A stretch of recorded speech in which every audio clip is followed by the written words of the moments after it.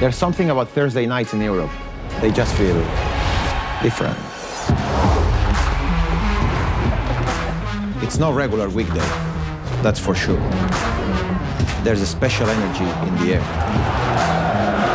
a unique atmosphere. And that means a unique type of fandom full of everyday missions. For these fans, it's about originality and passion. It's about commitment and sacrifice, family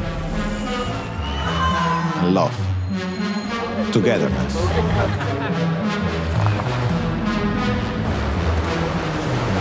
It's about expressing yourself, and ultimately, it's about that chance for glory, which isn't a bad feeling.